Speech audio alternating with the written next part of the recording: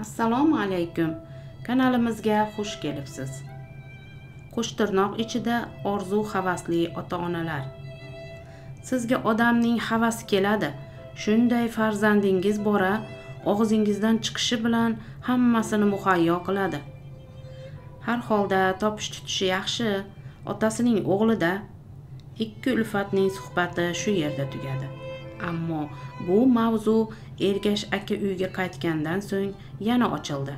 Biroq bu gal boshqacharoq xotinining dashnomlarini eshitishga to'g'ri keldi.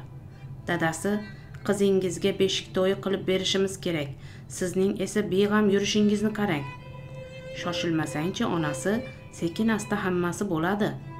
Shoshilma deysizu lekin to'yning xarajatlari haqida o'ylab ham ko'rmaysiz. O'g'ling ishlayapti yaxshi pul topayotgan bo'lsa to'y ham bir kunda o'tib ketadi. Bugun maqsudbek bilan gaplashaman yaqinda maosh olsa kerak. Ayol erining qolgan gaplariga sukut bilan javob qaytarishni ma'qulroq ekanligini bilib jim bo'ldi. O'g'lini esladi. Mana bir yildan oshdiki maqsudjoni amerikaga ishlagani ketgan. Har holda ro'zg'orning kam ko'stini shu bola to'ldirib turibdi. Opasining to'yiga kela olmadi. Lekin o'sha yerdan turib bo'lsa ham hamma xizmatni shu o'g'li qildi. Topgan pulini to'yga berdi. Uzoqda bo'lsa ham ro'zg'orni shu o'g'li to'ldirib turibdi.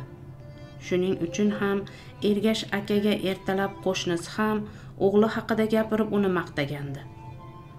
Otaning ko'ngli shod ona ham albatta xursand ammo erining ba'zi ishlari unga unchalik xush kelmaydi.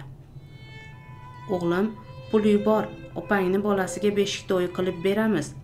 Sening nomingdan kattaroq biror narsa olmoqchimiz. Ha aytganday endi to'yni bilasan xarajatlardan tashqari yangi kiyim bosh olish kerak. Yaxshiroq pul yuborasanda o'g'lim. Xo'p dada harakat qilaman. Maosh olishimga ham oz qoldi yuboraman. O'zing qiynalib qolmaysanmi ishqilib? Yo'g'e imkonim boricha harakat qilaman.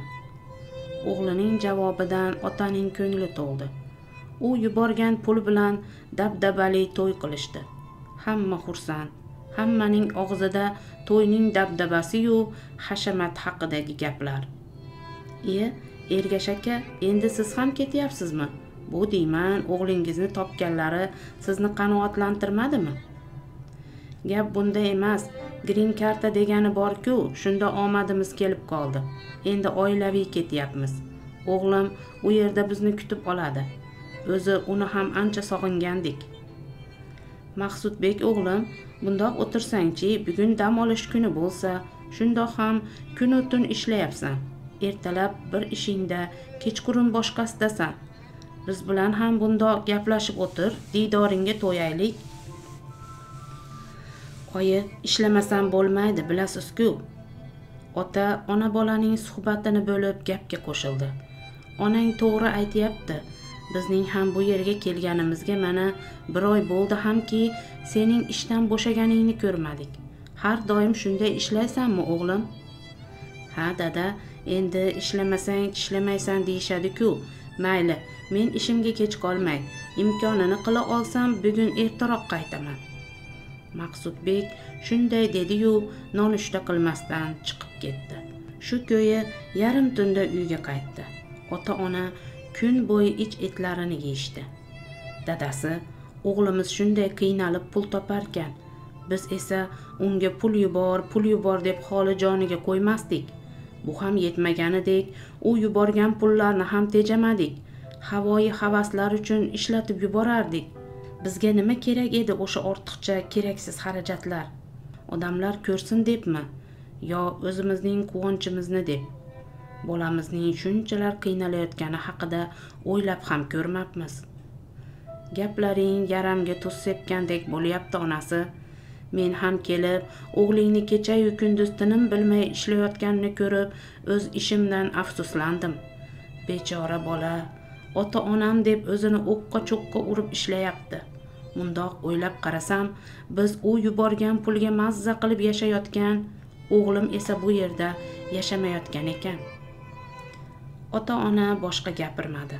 Ya'ni o'z xayollari bilan band bo'lib qolishdi. O'g'il esa ishdan qattiq charchab kelib ovqatlanishga ham ulgurmay uxlab qolgandi. Barchangizni islomiy ma'ruzalar kanaliga taklif qilamiz. Bu kanalda siz islom ulamolarining ma'ruzalaridan bahramand bo'lasiz. Kanalga obuna bo'ling va diniy bilimingizni oshiring.